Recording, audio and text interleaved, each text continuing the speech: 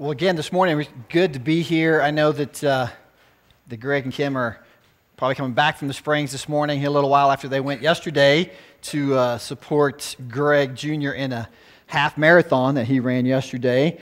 Um, and, you know, I, uh, it, so when he asked me to come back and speak, of course, I never pass up the opportunity to get to be, to be back home here at Calvary. So it's great to be here today.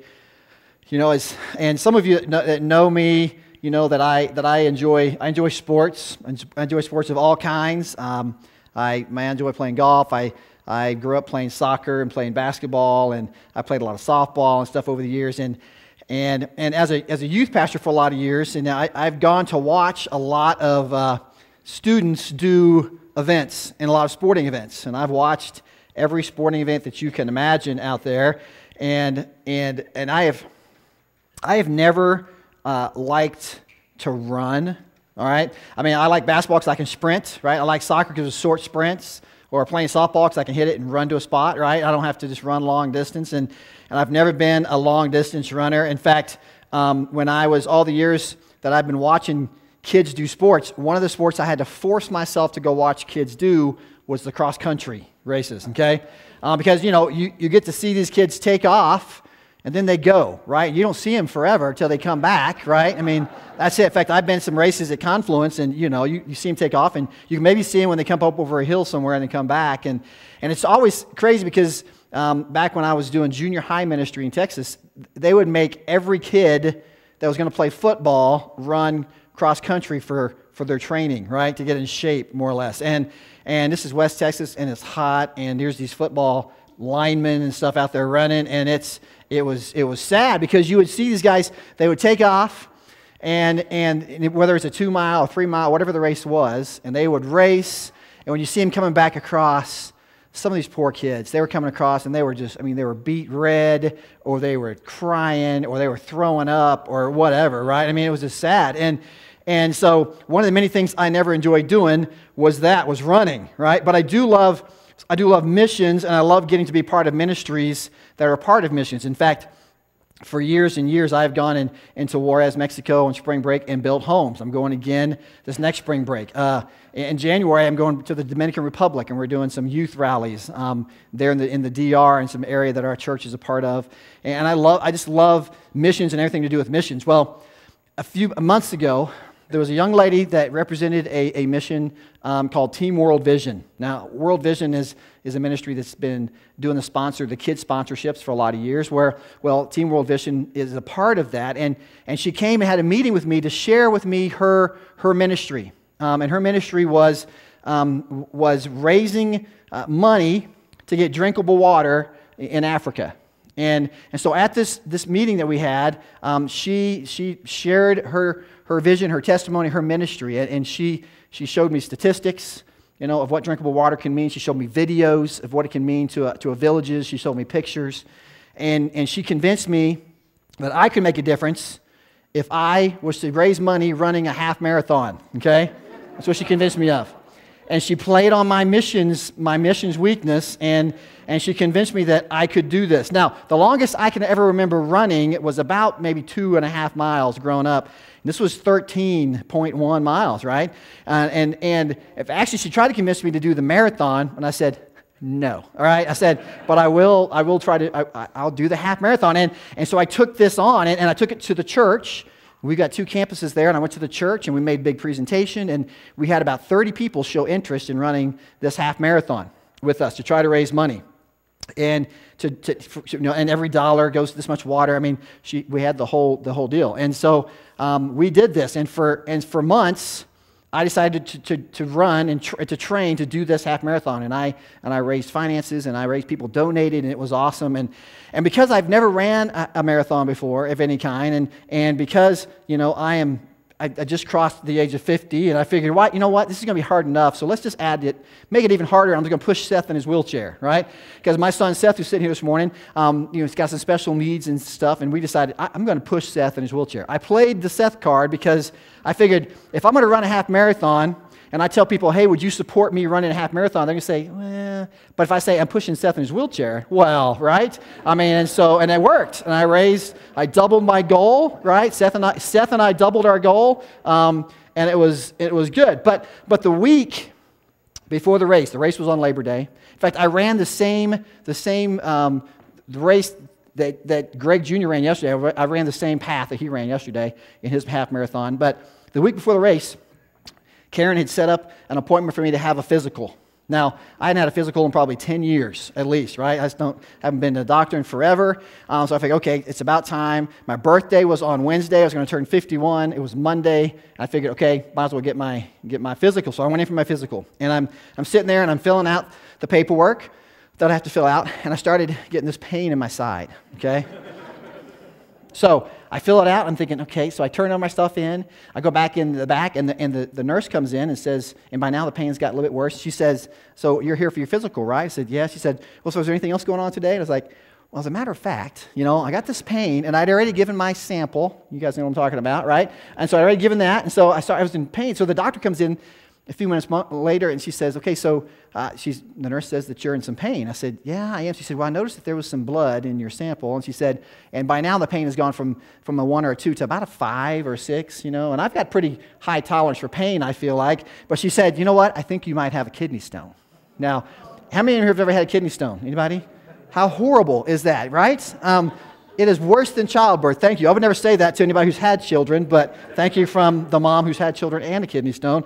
And so I'm in, I'm in pain.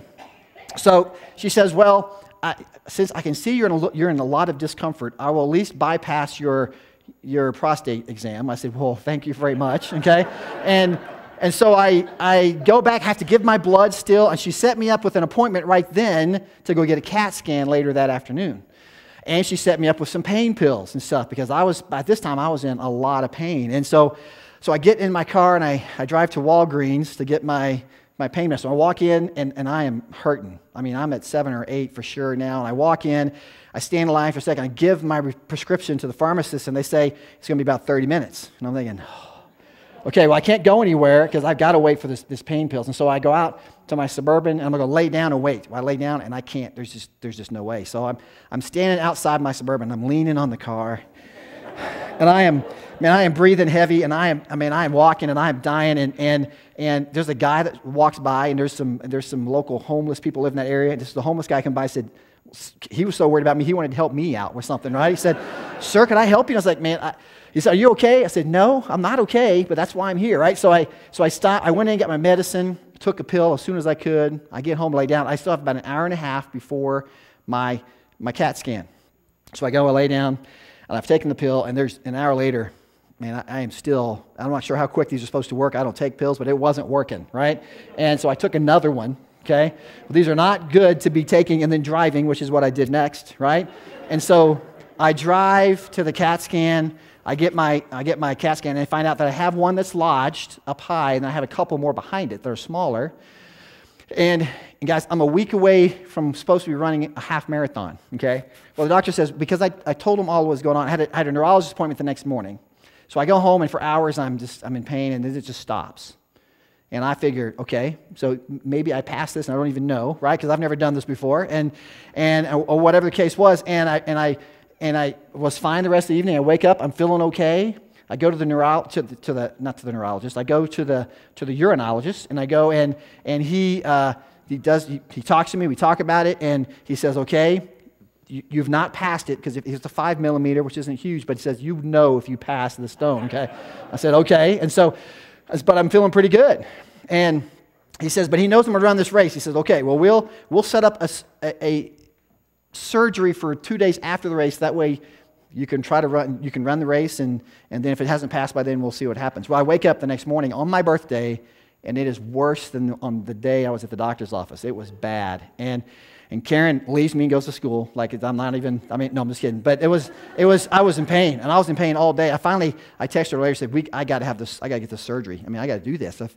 And so so I get an emergency surgery on Thursday, day after my my birthday. I have this emergency surgery in the morning, and I want to run this race on Monday, okay? So I have this surgery on Thursday. I can't back out of the race. People have already given money, right, to this, this organization and stuff. And, and so I, I have the surgery. They put in a stent which you don't even need to know about the stent, okay? But they put in a stent, and he puts it in, and I'm going to tell you this because I love you. He puts it in so that, so that I, because I want to run Monday, he puts it in and enables it so that I can take it out myself so I can run the race because I can't run the race with the stent in because there's, it's very uncomfortable, this stent. Jason, it's no fun, okay? And, and it, was, it was bad, and so Sunday afternoon, I pull out my stent. I won't tell you, don't need to hear that story. I pull the stent out, and then I get up the next morning to run this race. Now, I've had surgery a few days earlier. I've had these kidney stones. I've had a stent I pulled out, and I, but I got to run this race, right? So I got a picture. Uh, I got a picture of, of Seth and I before the race that morning. Um, and so if we can, we'll see if we can get this up there. I, I made Adam figure this out, but that's not it. I am not that pretty, either one of those guys. Um, but so we get up there, and the race is, we have to be there by 6 in the morning okay, on Labor Day. And so Seth and I get up and we go. And so there we are, right? And it's cool out that morning. I am, and guys, I can still barely bend over to tie my shoe at the time, okay? But I'm about to run this race. Now, I've trained for this. I've ran miles and miles and miles.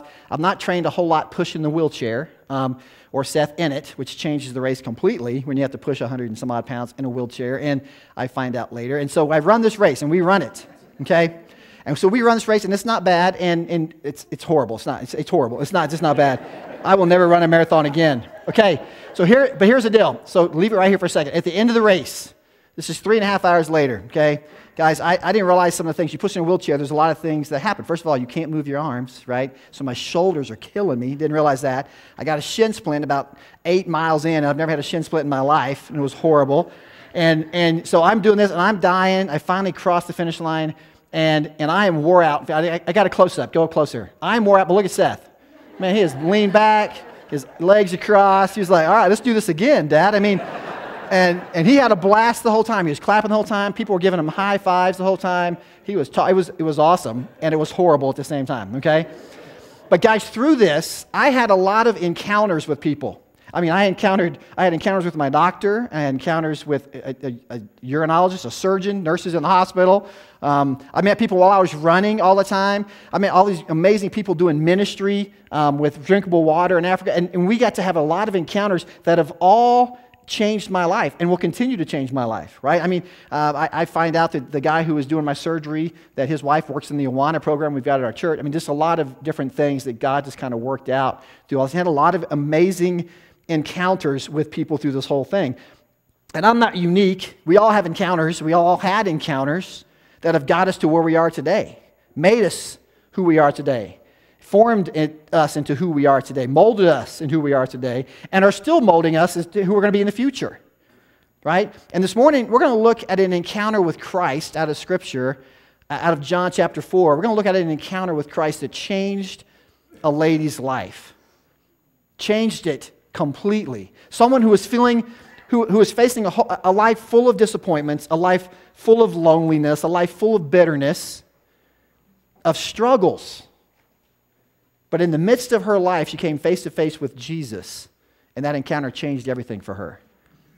We're going to learn about this woman that, that Jesus met journeying through Samaria and how this encounter changed her life. So we're going to go to John chapter 4, um, and, and we're going to go back and forth to this chapter, so you can leave it here for a while. But let me just read some verses again um, of John chapter 4, just to kind of bring us back to where we are for this story. It says, Now Jesus learned that the Pharisees had heard that he was gaining and baptizing more disciples than John, although in fact it was not Jesus who baptized, but his disciples. So he says he left Judah and he went back once more to Galilee. Now, here's the important part. He says, Now he had to go through Samaria. So he came to a town of Samaria called Sychar, near the plot of ground that Jacob had given to his son Joseph. Now, Jacob's well was there, and, and Jesus, tired as he was from the journey, he sat down by the well, and it was about noon. When a Samaritan woman came to draw water, Jesus said to her, Will you give me a drink? His disciples had already gone into town to buy food. Now, before we go any further with this, I want us to consider, uh, I think, a couple of interesting facts that right away we see in this story. First one, and you have this in your notes in your, in your, in your bulletin as well, is this, is this right here. This was not the normal way. Okay, guys, this was, this was not the normal way. First of all, guys, in this time period, Jews and Samaritans did not get along, right? They didn't get along. Samaritans were, were a mixed breed, so to speak. They had mixed origin. They had some Jew, yes, and they had some mainly Assyrian. Right? That's primarily what their origin was. They, and, and to the Jewish people, they were not only half breeds, but according to the Jews, they did not practice pure Judaism, right, at all, but a mixture of Judaism among other religions. And because of this, the Jews looked down on the Samaritans, right? They looked down on them. They didn't get along. In fact, the Jews would, would normally go around Samaria to get to Galilee from Jerusalem and back. They would go around. In fact, not normally, they always went around Samaria. They wouldn't go through Samaria for any reason. Not because it, it wasn't the most direct route, because it would have been a lot more direct to go through, the, through Samaria, but, but they didn't want to do that because it kept them from becoming contaminated by the Samaritans. So they thought. But in our text today, it says that Jesus had to go through Samaria. Well, guys, he didn't have to go through Samaria on the road to get from Jerusalem to Galilee. That's not what he had to do. But there's some other reason. This was not the normal way to go. Scripture tells us, though, that he had to go through. So he had to have had another reason to go through Samaria, other than it only being the, the only way to get there, because it wasn't the only way to get there. And I believe that he had to go through, through Samaria because there was someone who really needed to have an encounter with him on that day. He had to meet her where she was. So, because of that, he had to go through Samaria.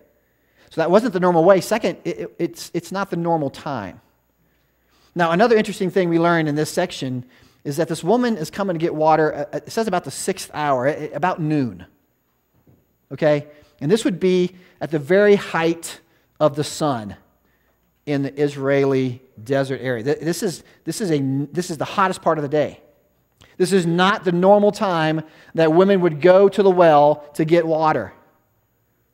No, they would get up early in the morning when it was cooler, and then they would go to the well and take care of the business, get the water, and bring it back. So, why was this woman getting water at this time of the day?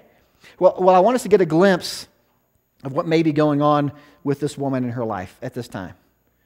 What she may have been feeling and experiencing in her life at this time. And consider some of the customs and manners of this time. So, I mean, think about it. The story begins with this. Imagine for a moment that, that this woman, she, she's in her room at her house, she's at her house, she, she picks up her clay jar that she has to, she gets water in every day, and she, she opens the front door, and, and the heat of the day hits her in the face. And for a second, she's probably taken aback because of the heat. Then she peeks her head out, looks up and down the street, and notices that there's, there's nobody there. It's, it's hot, it's, it, but it's also quiet because it's not the best time of the day to be outside fetching water or anything else eh, for that matter. She could have gone earlier in the day when it was cooler, but for her to have done that would have meant that she had to face the other women in town, and she certainly didn't want to do that. That's why she's going out now. Now at this hot and uncomfortable hour, because she doesn't want to, she doesn't want to face the other women from town. She doesn't want to face the other women at the well. Because she's really, in essence, she's the town bad girl. I mean, she's sleeping with a guy that's not her husband. She's been married five times to other guys, and none of them have worked out. Those relationships all failed. She didn't have much to hope for in her life, not much hope of her life getting any better. She's hoped for a better life before. That's why she's got married five different times, and each time they failed. She's back in the same place every time, divorced and miserable and looking for something else because she's bitter. She's given up on marriage. She's, she's pretty much given up on really living. She's lonely and she felt hopeless. She was basically just existing from day to day. That's it. She was just existing. She's not really living. In fact, she's living a shadow of a life, not a real life, not real living, just a shadow of a life. If we take a second before we go on and, and talk about the hopelessness that she may have been feeling at this time, um, and probably the hopelessness that maybe at one time or another we've even felt where life had gotten overwhelming and we weren't really quite sure where to go next, and life was tough, and choices were tough, and things weren't working out quite the way we wanted to, right? Maybe you've been there. I think I've felt that way myself at times. And here's a key truth guys living life without hope is only a shadow of a life, right? If you don't have any hope in life, all you can live is a shadow of a life. And we are surrounded by people in our lives every day that don't have God in their life. guess what? They don't have hope in their life. They're just living a shadow of a life. In fact, in 1 Chronicles 29 15, this is what King David said. He said, We are foreigners and strangers in your sight, talking to God, as we as were all of our ancestors. Our days on earth are like a shadow without hope. Right? I mean, our shadows exist, right? We all know we've got them. I can see shadows in here right now, right? Shadows exist, but they don't really live, they just exist. And are we living life like a shadow? David says, you could be living life like a shadow where you, you, are living, but you're not really, you're, you're, you're existing. You're not really living because you're living without hope. Maybe you go, you've gone day to day and, and, and you do what you need to do. You, you try not to dwell on the bad choices you may have made in the past. You know, why didn't I do this? Or why did I do this? Or why didn't, and we, and we try to forget all that and just kind of forget it and move forward, right? And, and, and maybe we think that that's, that's the way to live. Just instead of asking why all the time, let's just forget about all that and let's just move forward. It, because the past is too painful. We, we just don't think about it anymore. We'll just move forward. And that's, that's easy to say. But the sad part is that even though you may want to move forward and you try to move forward, you also don't think much about the future. You're trying to ignore the past, but you, wanna, you don't want to think about the future either because then it's scary. Right? Because then you're, you're afraid that what if I make these plans and it doesn't work out? Then I'm going to be depressed and upset again. And, and so instead, you just exist. You get up for another day, you go to work for another day, you do another load of laundry, you go to school for another day, you make another sales call. You don't think about the past. You don't think about the future. You just want to get through the day. That's how this, that's how this woman's living. She doesn't want to think about the past. She sure doesn't want to plan for the future. So she's living without hope. She's living a shadow of a life. But then enters someone who was, number three, not the normal man. She's had some experience with men in her life, none of it good. Now she heads out of town on this hot middle of the day to go get her water. And as she nears the well, she notices that there's someone there. It, it, it's a man, and not just any man, it's a Jew. What kind of confuses her for a second because, well, first of all, she thinks, well, at least it's just, it's a man and it's a Jew. It means I don't have to talk to him because he won't, he sure won't talk to me. Right? Because that's not what the culture says or does. So he's not going to speak to me at all because he's a man first and because I'm a Samaritan and he's a Jew. Now, and nobody really talks to her anyway. People may talk at her, right? They may call her names, they may talk about her, but nobody really talks to her anyway because her sins and her lifestyle have kind of made her that outcast. But as she's having this thought, this thought she, she's jarred back to reality by the man asking her for a drink. And he asks in a very pleasant way.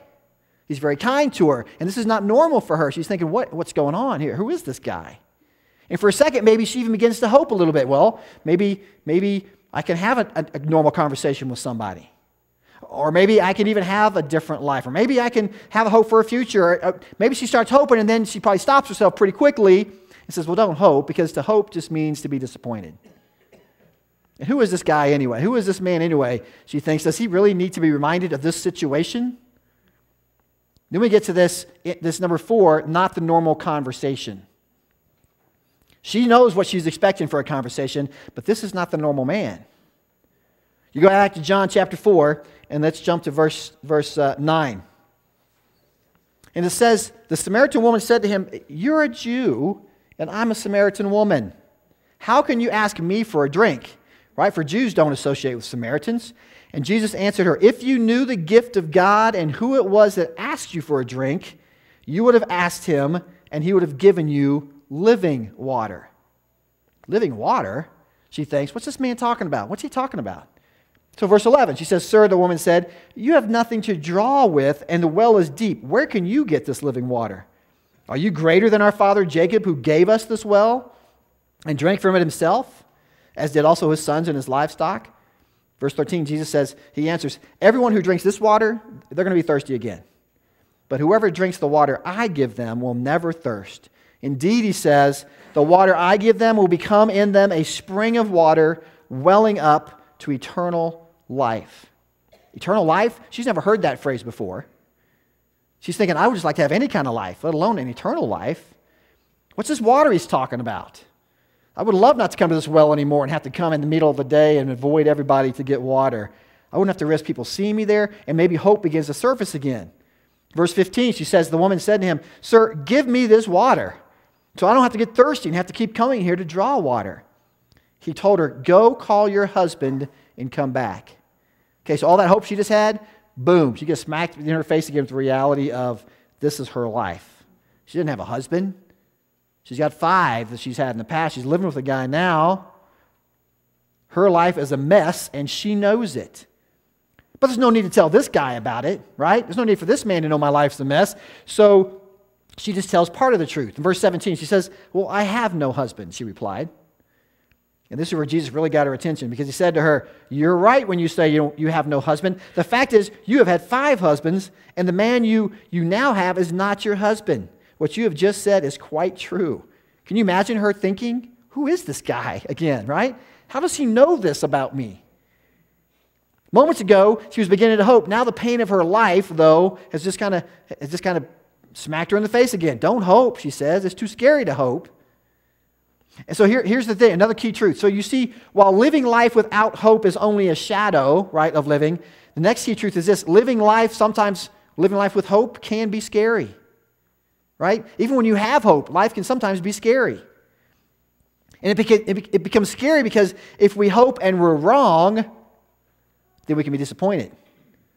And, and I realize that in this room, so many of us have been disappointed in life before. We've been disappointed by people, We've been disappointed by circumstances, by jobs, by ourselves at times, right? And nobody likes to be disappointed. So, to avoid disappointment, sometimes we avoid hope. And, and we think it's going to be better just to not hope at all. We think it'll make life a little bit easier to live if we just don't hope for anything and then get disappointed. But as we live a hopeless life, again, we don't really live. We only exist. Go back to being that shadow again. So the woman thinks to herself, okay, he's just told me stuff about me that there's no way he could have known. So we got to change the subject and get to something else, right? So, verse 19, she says, Sir, the woman said, Hey, I can see that you are a prophet. Our ancestors worshiped on this mountain, but you Jews claim that the place where we must worship is in Jerusalem. So Jesus joins along this conversation with her. He says, Woman, Jesus replied, Believe me, a time is coming when you will worship the Father neither on this mountain nor in Jerusalem. You Samaritans worship what you do not know. We as Jews worship what we do know, for salvation is from the Jews, right? He's talking about himself. Yet a time is coming and has now come when the true worshipers will worship the Father in spirit and in truth, for they are the kind of worshipers the Father seek. God is spirit, and his worshipers must worship him in spirit and in truth. Now, here's where we get to the stuff that she really, she, she had some education, right? She says in verse 25, the woman said, I know that the Messiah called Christ is coming. When he comes, he will explain everything to us. She's trying, remember, she's trying to get him off the subject of her. Let's talk about religion, right? Let's talk about the spiritual stuff. You're a prophet, let's talk about religion. So she's going even further. Hey, I know there's this Messiah is coming. He's called Christ. When he comes, he'll explain everything to us. Then Jesus blows her mind, right? Verse 26. Then Jesus declared, I, the one speaking to you, I am he. Just then his disciples show up. They return and, and were surprised to find Jesus talking to a woman, but they've been around him long enough that no one asked, What do you want or why are you talking with her? And then it says in verse 28 Then leaving her water jar, the whole reason she came out there in the first place, the woman went back to her town and began to talk to her people. She said to her people some things, right? She was blown away. She said, Not only does this guy know everything about me, now he's just told me that he is the Messiah. He's the one we've been waiting for. So she rushes back to town. And I think so many thoughts are probably rushing through her mind. She thinks, could this really be the Messiah? I mean, he didn't know everything about me, and I've never met him, right? And her, her, her blood is, is rushing through him, and her heart is beating really quick. She's excited. She's feeling alive. I mean, if this is the Messiah, if this is really God in man form, then God was willing to speak to her. She's never had that thought before. Someone who, who made the choices she had made, who'd lived the life she had lived, and God was willing to talk to her. Does this mean that there was hope again? Hope for someone even like her? And, and was she even willing to step into that kind of hope? This did not seem to be the hope that she's had in the past. This wasn't anything like she had experienced before. This was a hope that would change her. Hope was coming alive to her, right? Now, while living without hope, she had, she had, as she had done for all these years, just existing, now she saw that there was a chance to really live. This we get to the next key truth in your notes that, that living life with hope is really living, right? Living life with hope is what real living is all about. In fact, Paul tells us in Romans 5 5, and hope does not put us to shame because God's love has been poured out into our hearts through the Holy Spirit who has been given to us. This, this lady, this woman, was starting to really live because she believed that this man that she just met, this Jesus, was actually the Messiah, the Christ, the one who was God and is the Savior. And she wanted this encounter to change her life, not just her life, but everybody's life around her. Right? I mean, guys, we understand that this is not just any kind of hope that now she is involved in her life. It's not this, it's not just any hope. It's not just hope that leads, it's not just, the, and here's the thing understand that it's not just hope that leads to real living. What we hope in is what matters. Right? Not just having hope, but what we hope in is what really matters. When we hope in the wrong things, we do get disappointed. When, when we have our hope in others, guess what? They're going to probably let us down sometimes. When we have our hope in circumstances, they're going to fail us.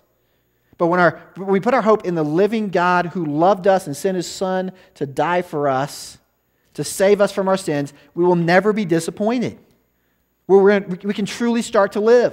In fact, Jesus tells us in John 10 10, the thief comes only to steal and to kill and destroy, but I have come that they may have life and have it to the full. Real life, now and for all eternity. Well, and the story continues. The, the woman makes it back to town, and she's excited. So excited that she's no longer worried about what people are thinking about her. She's no longer worried about talking to other people. She begins to share with everybody what's just happened to her. She's had this encounter and it's changed her life. It, it, it's encouraged her to move into this real hope. And while she's have a, she has a past with five different husbands, her future is still uncertain. Right now, she's living, for the first time in her life, she's living with real hope in Christ. And she believes that this is a Messiah, so she believes she should share this. And so we jump to verse 29 here in John 4. It says, Come see a man who told me everything I ever did. Could this be the Messiah? They came out of the town and made their way toward him. Many of the Samaritans from that town believed in him because of the woman's testimony. He told me everything I ever did. Now, again, realize she's the bad girl of town. We, we know she's had five husbands. She's sleeping with a guy. There's no telling whatever else she's done in her life. So when she comes into town and says, Hey, come see a guy who told me everything I've ever done, there's a lot of people in that town that are thinking, Oh no, right? That could involve me, right? And so they all want to go out and see what exactly this guy's all about. So they all run out to say, Okay, let's see this guy that knows everything that she's ever done, right? And then they spend some time with God, with Jesus Christ, and everything changes. Right, guys? He, he knew her past, he knew her present, and he, and he still spoke to her anyway. Uh, man, there's so many times that I, that I think about this. How can God love me and forgive me and give his life for me? Because he does know my past. He knows everything I've done. He knows what I'm living right now, and yet he still loved me so much he wants a relationship with me. See, there's, there is hope no matter what our pasts in this room are. There is hope for all of us. No matter what's going on in your life right now, there is hope for all of us. God wants you to have an encounter with him. And because of this woman, others had an encounter with Christ. Verse 40. So when the Samaritans came to him, they urged him to stay with them, and he stayed two days. And because of his words, many more became believers. Now, look, I, I realize that most of us in this room, we've had that, original, that, that initial encounter with God. We've encountered him, we've accepted him into our lives. We've had that encounter. And if, you if you're in this room and you've not done that, you've not had that encounter, I want to encourage you that this morning to take care of that. Right? To take care of that, to, to come and, and, and to, to bring yourself to Christ and, and ask Him to come into your life and have that encounter that can change your life. Because, guys, God wants to have that with you. No matter what you've done. I guarantee you, none of our lives in here look as messy as this lady's life did at the time she met Jesus. And yet, He did everything his, He could to go out of His way to go have an encounter with her. I encourage you today to make that decision. But all of us, if you've made, if you've, if you've accepted Christ into your life, how many are you are allowing that encounter to change your daily life, to change the encounters that you're having? You know, in, in my all my prep work and everything for that for that marathon, I got to meet and talk to a lot of people about why I was doing this. Right? When I got to share with that with those doctors and nurses, right? This is why I still want to run. Not just because I'm trying to prove a point. No, I, have raised money to help this mission. I got to talk about Jesus and about what this mission looked like. When I got to run in our town, I got to have conversations with people I saw every day about why I was doing what I was doing. And, and it, was a, it was a great opportunity to share my encounter with Christ with others so hopefully they could have an encounter with Christ. How many of us are doing that every day? Are we allowing that encounter with Christ to change the lives around us? Or are we just kind of just living our life, getting through life, moving through life? Do we need to be reminded of the hope that we were given in our relationship with Jesus Christ, with that encounter? Do you have that hope in your life? Not just for what you've gone through in the past, but what you're going through right now and what you're going to go through in the future. We can have these things. This is, he is not the normal man. This was not the normal experience that the Samaritan woman had, and yet he wants to have that exact same encounter with us. Let me pray for us this morning. If you bow here and close your eyes for a second.